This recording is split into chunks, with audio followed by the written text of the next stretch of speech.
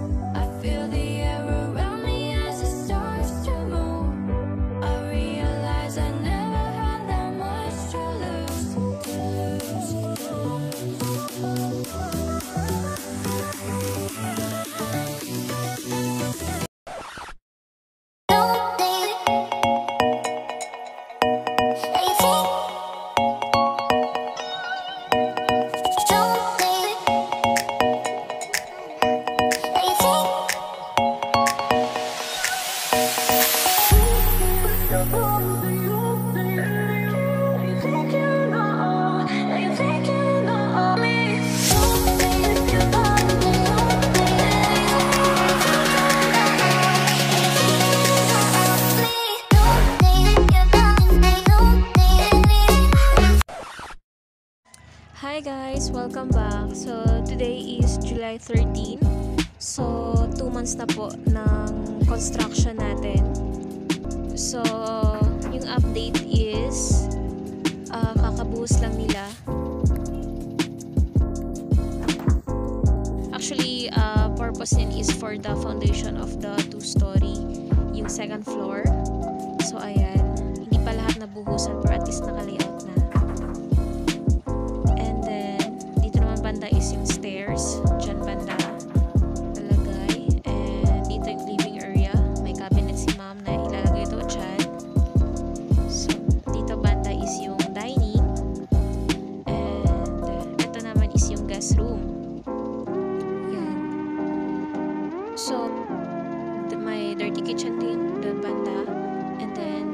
din is laundry and dirty kitchen din daw.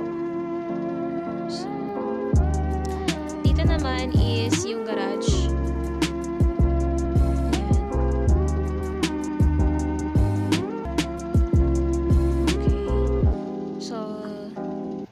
Dako naman tayo dito is yung septic tank.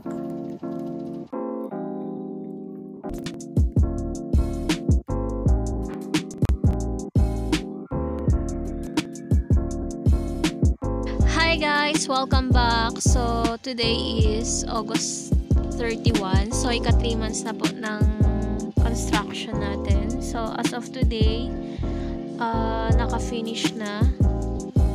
Actually, kung mapapansin nyo, ang bilis ng development kasi nga pinapadali ng owner. Kasi target namin is December. So, ito na po siya yung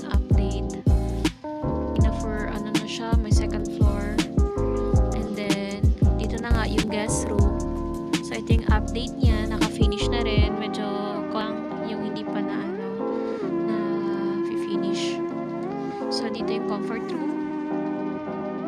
Comfort room. Yan. So, wala pang tubales. So, dito naman, sabi ko na nga, yung living area. So, sa taas. Uh, by the way, share ko lang. So, this is constructed by NMA, Real Estate Services. So, this is not the only